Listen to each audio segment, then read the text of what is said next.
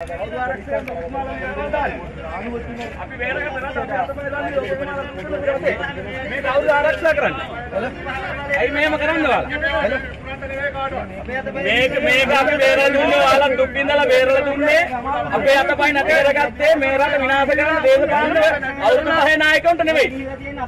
ඔයාලා දන්නවා අපේ අම්මලා තාත්තලා අද අවුරුදු ගන්න බලාගෙන නෙවෙයි ඉන්නේ කඳුළු බොන්න. ඉතින් මේවා අරින්න අපිට ගිහිල්ලා මිනිස්සුන්ට පස්සේ විසඳ ගන්න. ඔයාලත් ඉන්න අපිත් ඉන්න අවුරුදු මෙතනම කමු අපි ඔක්කොම. මේ ඔය පැත්තට මොනවද කන්ටන් අපිට තේරෙන්න අවුරුද්දක්. මහජන අරගලයට! මහජන අරගලයට!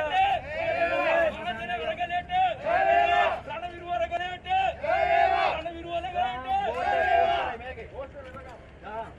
මෙන්න මේ රණවිරු අයිතිවාසිකම් දුරු මේ ජාතික බලවේගී කියන සංවිධානය ආපස්සට හැරෙන සංවිධානයක් නෙවෙයි. රටේ කොයිතන කොයි ප්‍රශ්නයක් රටට බලපාන බහිනවා. ඒවා ගැන කවුරුවත් බලන්නේ ඒ අතරින් ඉන්දියාවට ඩයස්පෝරා ගියුසුම් ගියුසුම් ඒ කියන්නේ උතුරු නැගෙනහිර අපිට තේරෙන්නේ අපි අතපය දන් දීලා ගේරගත්තේ පත්ති ලංකාවේ විමාන නැගෙනහිර මාර්ගයක්.